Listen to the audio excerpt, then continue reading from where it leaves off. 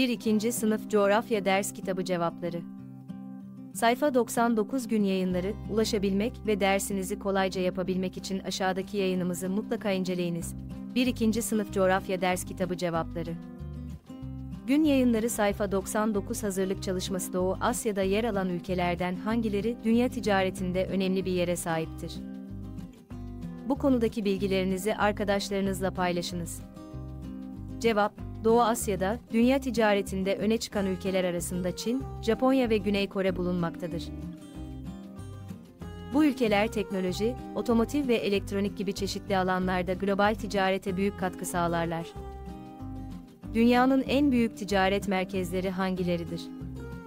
Tahminlerinizi arkadaşlarınızla paylaşınız.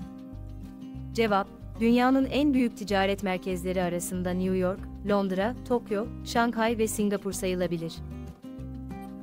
Bu şehirler, finansal hizmetler, borsalar ve uluslararası ticaret hacmiyle dünya ekonomisinde merkezi rol oynarlar.